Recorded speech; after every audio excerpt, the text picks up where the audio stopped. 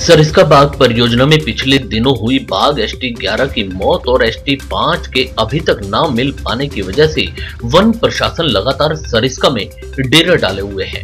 शनिवार को भी प्रदेश मुख्यालय वन्य जीव प्रतिपालक जी वी रेड्डी अलवर पहुँचे और इस मुद्दे पर अधिकारियों से जानकारी ली। इस दौरान पूर्व पुलिस महानिदेशक अजीत सिंह सहित स्टेट फॉर वाइल्ड लाइफ के सदस्य वाल्मीकि थापर, गिरीश कुशवाहा और धर्मेंद्र खांडल मौजूद रहे। अधिकारियों के साथ हुई वार्ता में गायब एस टी और गाँवों के विस्थापन सहित क्षेत्र में नफरी बढ़ाने पर चर्चा की गई।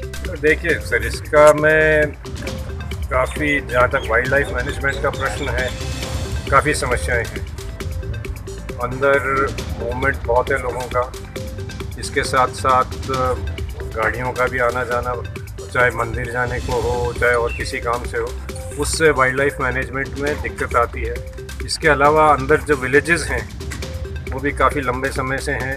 उनका और इनका जब कंट्रोल करने की स्थिति बनती है तो ये काफ़ी वाइल्ड लाइफ स्टाफ के लिए एक डिफ़िकल्ट प्रोपोजिशन होता है।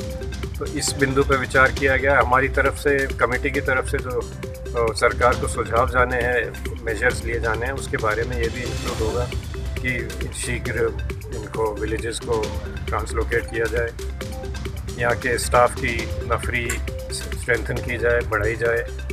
इसके अलावा और मॉनिटरिंग सिस्टम जो है, उसमें किस तरह से हम इम्प्रूवमेंट कर सकते हैं, उसको, उसके बारे में विचार किया गया।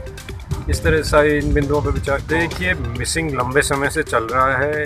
सिग्नल्स जो बीच में आए थे सिग्नल्स वाली कुछ टेक्निकल फ्लॉ था। ये wildlife institute of India उनके सिग्नल्स को मॉनिटर करता है और उन्हीं की रिपोर्ट के आधार पर अब उन्होंने अब फाइनली बताया कि बीच में जो सिग्नल्स आ रहे थे कुछ दिनों तक, वो फॉल सिग्नल से कंफ्यूजिंग थे। एक्चुअली उसका काफ़ी लंबे समय से सिग्नल नहीं है। तो सज़ा नहीं मिलती है, मिलता है।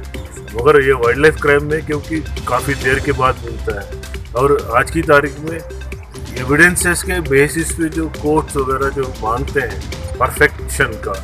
जो क्राइम में इम्परफेक्शन की एविडेंसेस को कोराबरेटिव करके करते हैं उसी में काफ़ी ज़्यादा एफर्ट लगता है। और अभी कभी ऐसा प्रयास ये नहीं रहता है कि दोषी को छोड़ जाए ऐसा नहीं रहता है। सर जैसे क्योंकि आर्म्स एक्ट तो एक नॉर्मल वो है और टाइगर और आप स्पेसिफिक मैं मैं आपसे बताऊँ कोई भी केस पकड़ा है आर्म्स एक्ट में केस दर्ज करने का पावर्स हमारे पास नहीं है। और आर्म्स एक्ट करने का काम पुलिस का है। जब भी कोई भी आदमी को पकड़ में आया, अभी एस टी इलेवन के चक्कर में एक उन्होंने जो बताया, उसके हिसाब से बंदूक किसी के घर में प्राप्त होता है, उसको तो पुलिस को ही देना पड़ता है कि ना कि मैं दे, मैं कर सकता हूँ। आप ये कंक्लूड नहीं कर सकते कि हमने पुलिस को दे दिया है। आर्म्स एक्ट में हम कर